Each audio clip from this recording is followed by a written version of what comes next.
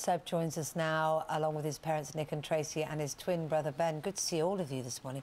Seb, I mean, can you remember anything of that moment when you were waiting by the toilet door? Can you remember what happened? Well, I don't remember everything no. clearly, but I do remember talking to a, um, a boy called Drew, and I'm not entirely sure what, what we were talking about. I think it was about something like how we did on the rugby tour. Mm. Did we do well? What kind of tries we scored and that kind of rugby talk. And then all of a sudden the door was open and before I knew it I was on the side of the road. Yeah. Bleeding a lot. And, and, and, Ben, you were on the coach, weren't you? Because you'd been on the same yeah. tour, and mm. you were upstairs. What, what did you know about, about Seb and what had happened? Well, I kind I knew nothing. All my all well, me and my friends thought there's some shopping or food had fallen out. Mm. But then when, because all the kids were rushed upstairs, at that moment I knew something was wrong because Seb didn't come back up. Did you ask them and they tried to keep you calm? Because that must have been frightening at that point, wasn't it?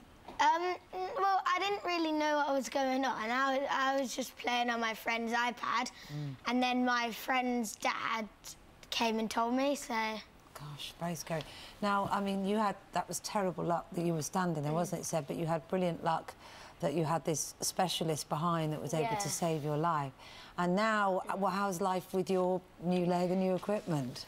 Good? Personally, I don't think I think that it's normal to have an artificial leg because yeah. I've got used to it. Mm.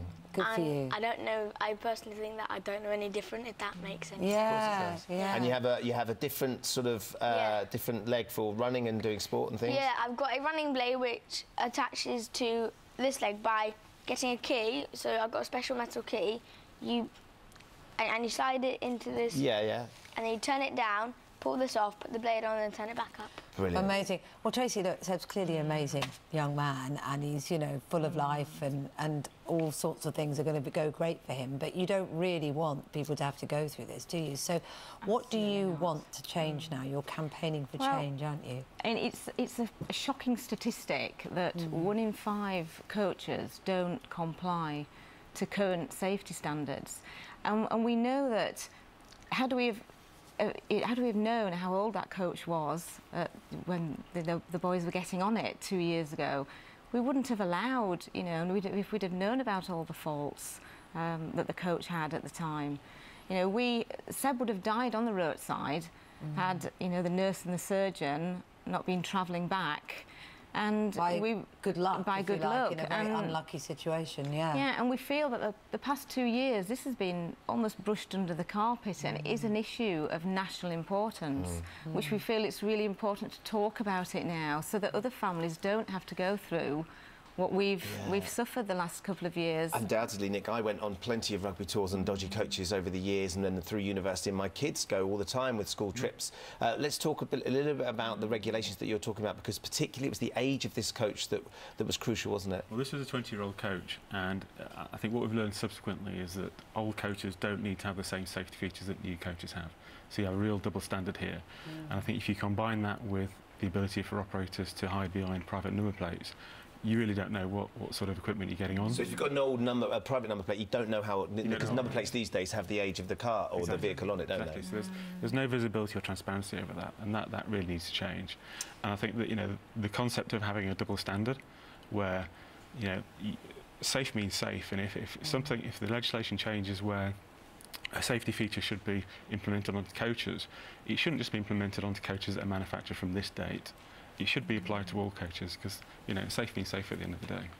Very interesting, yeah, and and terrifying. And and are you still very much enjoying sports, Seb?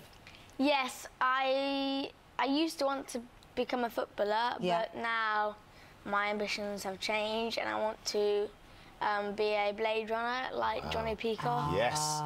Because yeah. the Olympics starts on Friday and then yeah. the Paralympics yeah. are coming up in a couple of weeks. Yeah, in yeah, two weeks after that. So we're going to be watching, watching that very, yeah. yeah. But also the year after, we've got the World Championships in Great oh. Britain. So I hopefully I'm going to go see the Paralympics in London. Yeah, too right. Just quick look at mum and dad to make sure the tickets are sorted. Uh, yeah. As we look down there Yeah, make sure there's a bit of nervousness about whether they pull that one off. But Well, you're, you're an incredible young man. Clearly, got a great energy and a great positivity about your life, which is hugely admirable. Thank you very much. Not least because you've got, I'm sure, the two of you together are constantly Quite a running. formidable force. Yeah, running things around your mum and dad. Uh, thank you for coming and sharing your story, Seb. It's been an absolute treat to meet you all, and Thank fingers you. crossed with the campaign as well. Clearly, along the way, we know there's been a number of problems with the police investigation and things. You've been let down, so hopefully we can sort Yeah. of try and do something to try and turn that around and make a big difference. Because there'll be parents at home watching this morning thinking that's absolutely terrifying that that could happen to them. well, you never think to check, No, do you? you just wouldn't, That's you the just wouldn't. Thank, Thank you you for guys. Thank highlighting you for coming in. all of us. Thank you very yes, much. thanks. When you were buried alive in the wake of this attack, were you left unconscious? So you came to sort of underneath dirt and debris. It was um, branches, ferns, shrubs were on top of me. When I first came around, it was just, I could hear my heart beating.